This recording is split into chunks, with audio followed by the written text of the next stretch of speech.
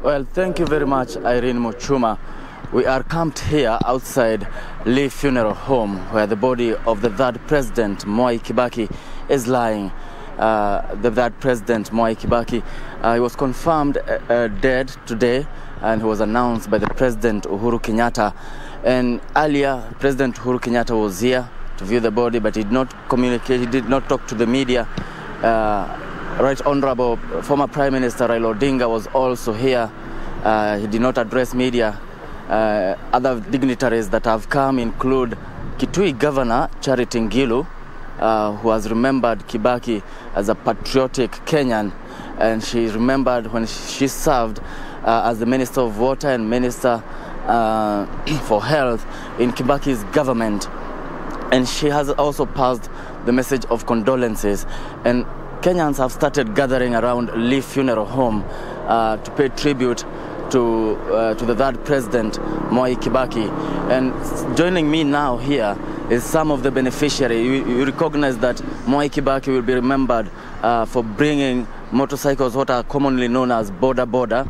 Uh, joining me here now are some of the beneficiaries who are, who are making a living from the border borders that were brought by Moi Kibaki. Karibu sana. Uh, nieleze kwa majina lako na utueleze unakumbuka mheshimiwa Moi Kibaki na jambo gani? Ya, majina yangu naitwa Rogers e, nikiwa chairman wa bodaboda e, hapa Nairobi.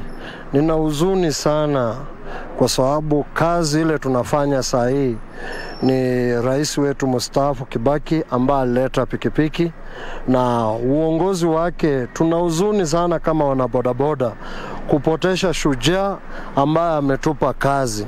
Tumekuwa tukikumbuka chuzi tukisema ya kwamba saa hii tuko tunaangaishwa Nairobi, lakini mzee angelikuwa mzee, mzee angekumbuka ya kwamba ni kazi yenye alianzisha mwenyewe. Kwa hivyo tunasema Mungu e, aweze kumuhifadhi mahali pema peponi. Tutamkumbuka kwa kazi nzuri, ametupa kazi, na tunaambia viongozi wetu waike mfano wa rais wetu ambaye ametuacha Moi Kibaki.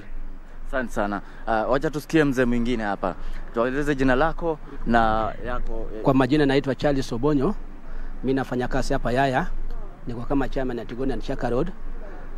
Ile huzuni niko naye kwa moyo wangu, sijasoma kazi ingine sana, lakini kazi nimesoma ni kazi ya motorbike, na hiyo kazi ya motorbike imenisaidia kwa muda mrefu. Ninaendelea naye watoto na wasomesha watoto. Saa hii sasa tumepoteza kiongozi wetu ambaye tulikuwa ametuajiri kazi.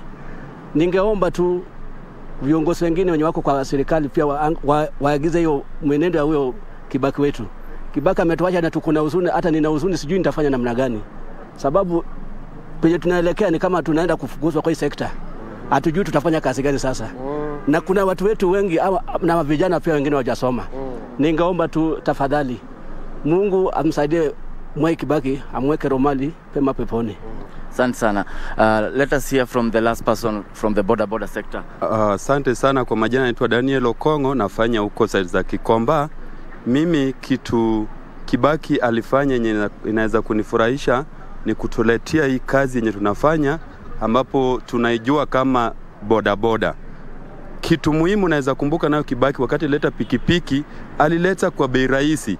Hata nikikumbuka mwaka wa 2013 kama alikuwa anaenda nyumbani aliwacha kama pikipiki BM 150 ya Boxer tulikuwa tunanunua 106,500.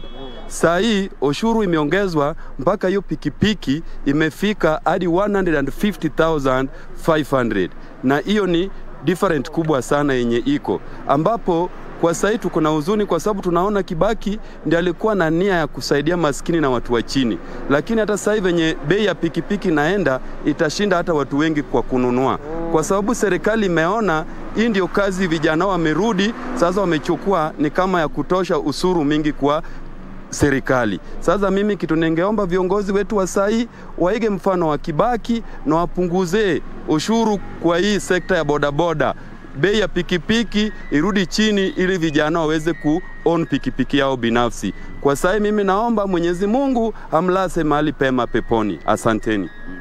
Those are the views of uh, Kenyans who are making a living from using boda boda uh, that were introduced here uh, by President Mwai Kibaki during his reign. Uh, and he, he will also be remembered for introducing free primary education uh, in 2003.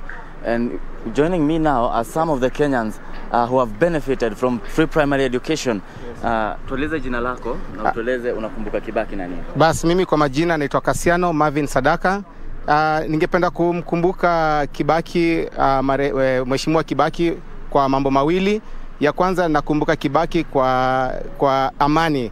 Wakati Kibaki alipoingia, sisi wa Kenya tulikuwa tuko na amani, tulikuwa na amani ya hali ya juu. Hata ekonomi yetu ilikuwa ni mzuri kabisa, tuliishi kwa amani, vitu zilikuwa zinakuwa affordable.